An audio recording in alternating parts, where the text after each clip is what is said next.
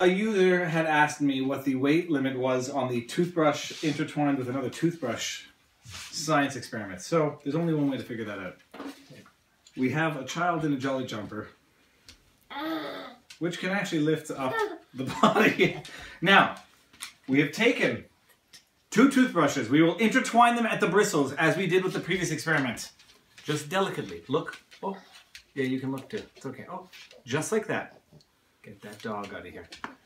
Okay, it's in. It's in. And look at this. You ready?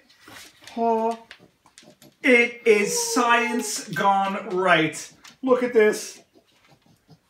now I'm going to put her down. Straighten me. There you go. And bring it in, just so we can see with the bristles, unlocking that there's no magic to this. It's just science. is the only magic, really. And chocolate. Oh, Big so?